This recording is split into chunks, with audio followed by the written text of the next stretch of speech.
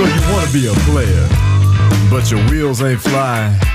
You gotta hit us up to get a pimped out ride. You've got to